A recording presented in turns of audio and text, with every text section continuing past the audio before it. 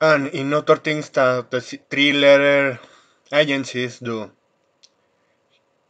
Of course, the biggest clown of every single one of them.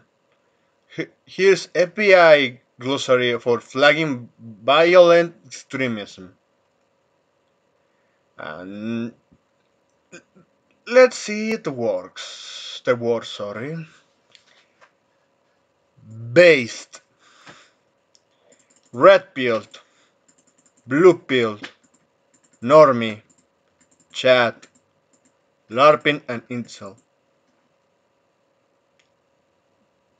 And I know this is sarcasm, but I'm just going to respond. No, they're not joking.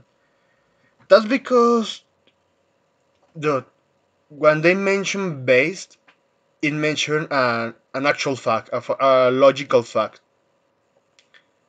Uh, they don't take in account any kind of ir irrationality in a sentence or context plane.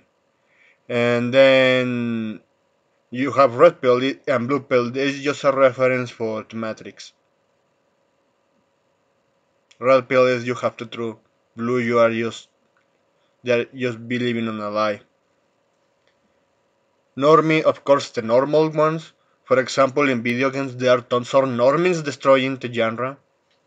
And then you have the word Chad, that is the supreme guy.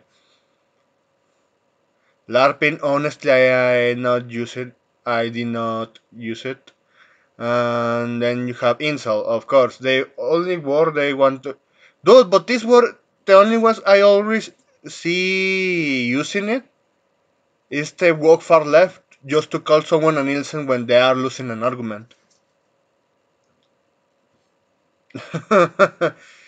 yeah, taxpayer money for you.